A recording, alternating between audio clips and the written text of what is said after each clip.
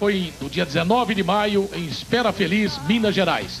Para conhecer, quem conheceu o Marcelo, não só como artista, brilhante profissional, jornalista, conhecia gastronomia, conhecia o esporte, um homem muito sensível, um cara tremendo amigo. A saudade e a homenagem de toda a galera do Domingão, de Branco Melo, Charles Gavan, o nosso Nando Reis, Paulo Micro, Sérgio Brito, Tony Belotto, que vão sentir muita, mais muita saudade do grande amigo Marcelo Frober. Olá, opa, como é que vai? Olha o Marcelão. Tudo bem? Aproveita bastante Primeiro aí, ó. a estadia. Obrigado. Espero que vocês gostem. Obrigado. A chegada deles.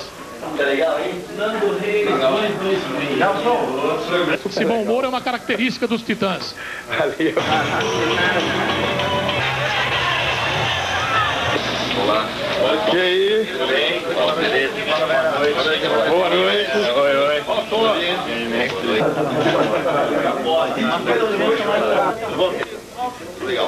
Isso, eu tô filmando, mas depois... Atendendo aos fãs. É, vou ficar à vontade, valeu. Dá tempo. Sempre esse sorriso, o Marcelão era sempre assim. Legal, legal, legal. Isso. Show.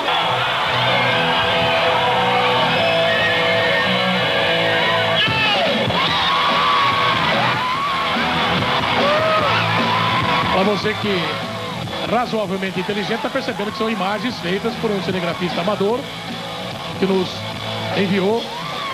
Esse cinegrafista que nos enviou para nós essas imagens. O último show dos Titãs, com o Marcelo Fromer, da cidade Espera Feliz, Minas Gerais, 19 de maio. Olha o Marcelão aí. Compositor de melhor categoria, grande músico, uma figura humana, mil estrelas.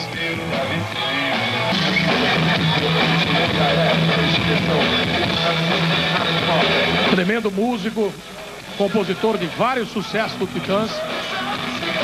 Muito querido no meio esportivo. Jogadores, jornalistas sempre adoravam o nosso Marcelo Fromer. Como crítico de gastronomia, conseguiu muito respeito em São Paulo e principalmente um jeito diferente de escrever. Uma maneira diferente de abordar o assunto.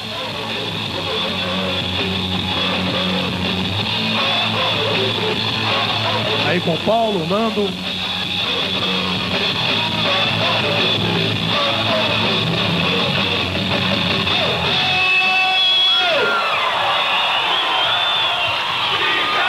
Com essas imagens, a saudade e a homenagem de toda a galera do Domingão a Marcelo Fromer.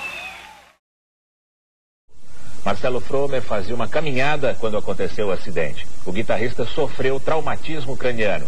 Passou por uma cirurgia que durou quatro horas. O músico está em coma. Ele, apesar do Hospital das Clínicas ter todas as condições de tratar do guitarrista, ele deverá ser transferido para o Hospital Sírio-Libanês. Isso porque o médico que o acompanha, o neurocirurgião Héctor Navarro, é daquele hospital. E a polícia ainda não tem pistas do motoqueiro que atropelou Marcelo Fromer e fugiu sem prestar socorro, Mônica. Adriana, mais informações sobre o local onde o acidente aconteceu, uma região escura da cidade, algum, pode ter sido inclusive consequência do racionamento de luz, da falta de iluminação? Olha, Mônica, Marcelo Fromer foi atropelado na Avenida Europa, esquina com a Rua Portugal. Esta região uma rua, é uma região bastante arborizada, mas pessoas que estiveram lá ontem à noite, exatamente no local do acidente, informaram que a esquina está bem iluminada, apesar do racionamento de energia. Apenas dois postes estariam apagados na Avenida Europa. Mas o guitarrista, ele costumava correr todos os dias nessa região dos jardins, sem usar aqueles chamados refletores de luz nas roupas. Ontem, por exemplo, ele estava correndo apenas de shorts e tênis sem camiseta. Inclusive foi internado no Hospital das Clínicas sem identificação. A gente volta aos estúdios do Fala Brasil. O músico foi atropelado ontem à noite na região dos Jardins, na zona sul da capital paulista. Segundo informações da irmã, Marcelo Fromer costumava correr pelas ruas dos jardins todos os dias. E ontem ele tinha um jantar marcado para as 10 horas da noite com a namorada. Como ele estava demorando muito, a namorada ficou preocupada, procurou a polícia e, pela descrição, a polícia disse que um homem estaria internado no Hospital das Clínicas. Esse homem eh, foi atropelado por uma moto, teve traumatismo craniano e várias fraturas pelo corpo.